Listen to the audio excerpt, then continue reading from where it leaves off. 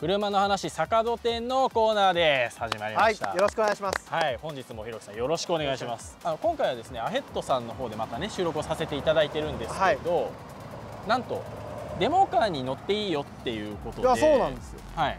実は初めてではい。ターボがついたはい。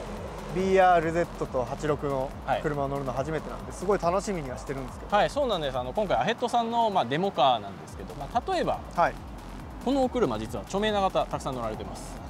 いや土屋さんがまず乗ってるじゃないですか。はい、土屋さんまず乗ってます。はい。そしてですね、あのはじめ社長も乗ってます。狩野英孝さんも乗ってませんでした、はい、狩野英孝さんも乗ってます。そうですよね、はい、もうたくさんの方に乗っていただいているこのアヘッドさんのえーデモカーなんですけど、いいですかそれに乗っちゃっても。はい、なのでまあ簡単にねまずは今日ひろきさんに試乗いただく前にはい。まず仕様を見ていただきたいなとおーはいはい、思はいまして、まあ、まず。いやそうなんですよ。あのートラストのターボキットが入ってますよねこれね。そうですトラストのターボキットですね。であとオイルクーラーがついていて、はい、であとマフラーが変わってるんですよ。そうです、えー、とこのお車はまずトラストの、はい。えー、とタービンキット T518 のタービンキットがついています、まあそこから駅マニからですね、まあ、後ろまで変わってます。うん。触媒からエンドのマフラーまで変わっていて、はいはいはい。まあ、そしてクラッチとあとデフも入ってますあよというとこーろと。なるほど。はい、あとはウィステリアさんのサスペンションですね、はい、車庫帳も入ってますので、まあもうバリバリサーキットも行けるし、まあ、ドリフトとか、ああ、はいまあ、そういったもうさまざまな用途に使えるお車ですよと。へいう形で。さまざまな用途にこのターボキットが使えると。そうです。あの普段のドライブでもお買い物でもあの走れますよっていう。本当になんかこうアクセル踏んでるあーとかってこう。あそれは乗ってみたら分かりますああ本かはい、僕何度か乗らせてもらってるんですけど、はいはいあのターボだから乗りづらいんじゃないのって思ってる方たくさんいらっしゃると当思って思うんですけど。ます。ターボだと乗りづらいんじゃないのかなとターボ思ってます。車いっぱい乗ってるじゃないでいやすかターボ車だってもともとターボ車の車を乗ってるからそれはもちろんね、うん乗りやすくしてますよ。でもその NA のはい。FA202 はい。ターボキットって、うん。だ要はポン付けじゃないですか。はい。ちゃんとこう乗れるのかなみたいな。ドッカンターボとかじゃないのかなってすあやっぱりそういうイメージあるんですね。いやイメージありますよ。はいまあ、そこはぜひ乗っていただければなと思うんですけど、まああとねせっかくで中も見ていただいて。あーはい。このブリットさんのセミ焼きがまたすごくいいんですよ。ホールド感もいいですし。へ見てください。これ横。横。これ見てください。素ー材を。えカーボンですか？えカーボン？ドライカーボン？なんですよこえー、すごい。れ、はい、え高いんじゃない？高いんですよ。高いですよね、はい、まあでもデモカーなのでやっぱり、ねはい。乗り心地とかそのバケットシートの合成感っていうところやっぱりブリットさんへがー僕も一番いいなと思ってるのでなるほど。今このアヘッドさんのデモカーにはついてますいや俺個人的に一番すごいなと思ったのはこのねあのブリットのシートレールからついてるこのアタッチメントがすごいしっかりしてるんですよね。すごいですよね。この肉厚もしっかりあそうそうりますし。そうそうだから全然合成感もあると思いますし、はい。あすごいなそうなんです、まあ、あとは基本的にはもうノーマルの仕あ様ー。で、はい、やらせてもらってるはいはいはいということですね、えだから皆さんでも乗れますよっていうところと、うんうんうん。まあ、あとはそのターボのフィーリングも、まあ、NA に近いターボはいはいはいはい。まあ、そこをぜひ乗っていただければまあ乗ってましたからね、はい NA ずっとはい、乗ってたんで。なので楽しみにしていたただければはいまあ、そしてですねあそうなんです。こっちは何？あの今回アヘッドのお客様でえ？タービンキットを組んでいただいてすごい綺麗じゃないですか。はい。もう今組み立てです。ああなるほど。見てくださいこのピカピカの。すごい見えます？この。見えますか皆さん？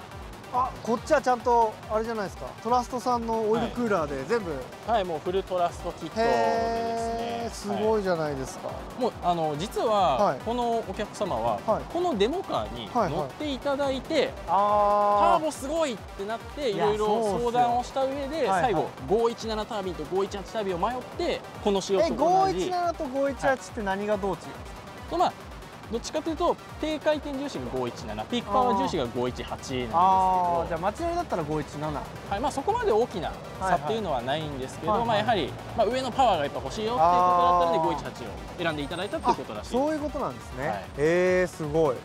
えと思います。はいというわけで86ターボ仕様ですねひろきさんセルフ入ってるじゃないですか。デフ入ってるんですよ。速 くないですか？このねいいい音ですよね、無駄に踏みたくなります、ね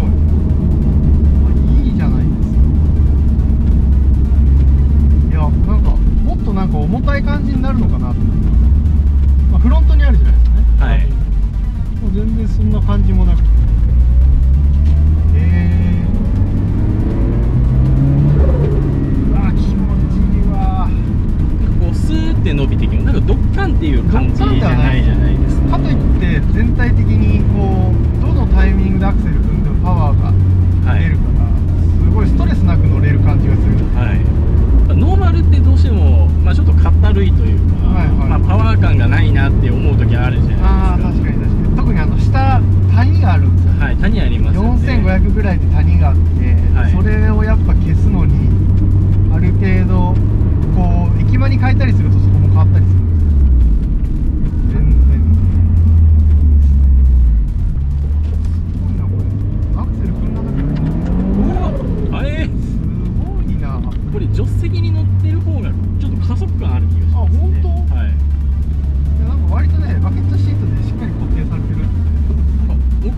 れブリットさんのセミ分けですけどもちろんホールド感はありますけど。へえー、これサーキットで走りたいサーキットで走るちょっと番組でサーキットで走る企画やってほしいんですけど、はい、ラリーじゃなくて大丈夫ですか？ラリーはちょっ to まだいい。まだいいです。まだいいまだいい。でもラリーラリークラスがないんだよね。ターボ車とこの。はい。NA にターボをつけたクラスがない。あそうか。確かにないんですね。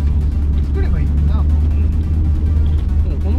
当に基本的にターボも入ってますし、まあ、そこから駅マニとそこからマフラーも変わってますし、レフもついてますね、はい、これ86ってもうちょうど発売から今年でちょうど10年じゃないですか、はいはいタはーボをつけるだけでも最新の GR86 よりもパワー出ますからね。いいや多分ね乗ってる感じそのターボの方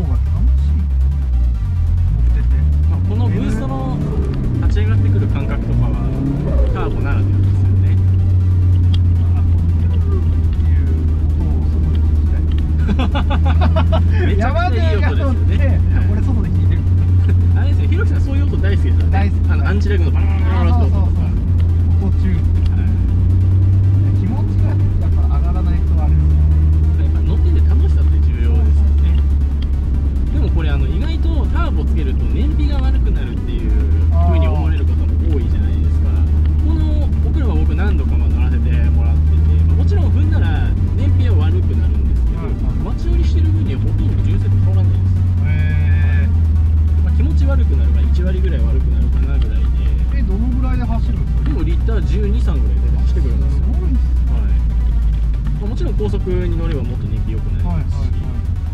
これ前期型でファイナルも4.1なので、あファイナル変えてないんですよはい、ファイナルは変えてないんですよ、でもターボがついてると正直いらないですよはターボがついてるからむしろちょうどいいんですよね、はい、パワー不足を感じないんですはいということではい。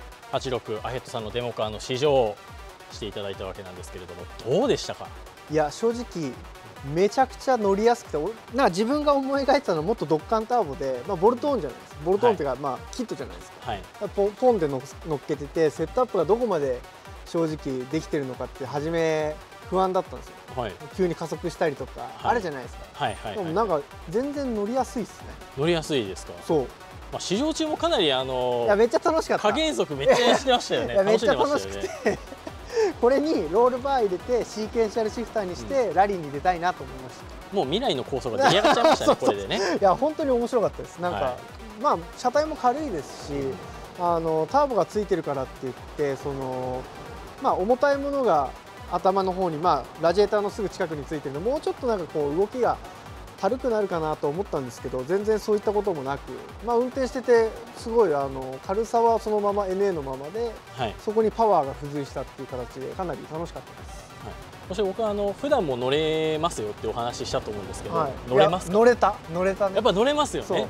滑らか。あよかったです。ひろきさんにそう言っていただけると。パワー的にもそんな多分300も出てないですもんねこれ。そうですね。200 260後半ぐらい。から280ぐらいだと思うんですけど、はいいやなんか全然これで十分かなっていう感じはしました、よかったです。僕の感覚がひろきさんと近かったことにまず安心しました僕は。なんか嫌っすね山でと感覚が一緒嫌ですか？ちょっと嫌っすね。はいそれは大変失礼いたしました。はい、いやでもすごいいい車でした。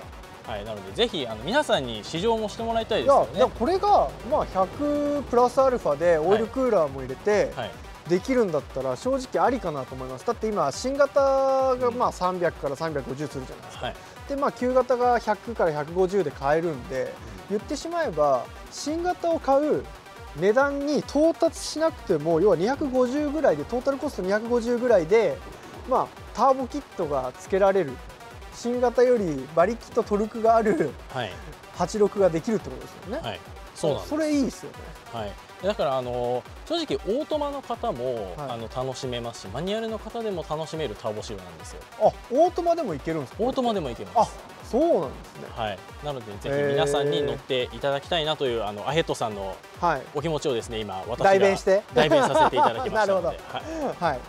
ぜひ坂戸市までお越しくださいませ。待ってますはいというわけで今回は以上になります。また次回お会いしましょう。ひろきさんありがとうございました。ありがとうございました 車の話番組 YouTube では公開映像や特別映像を公開していますチャンネル登録お願いします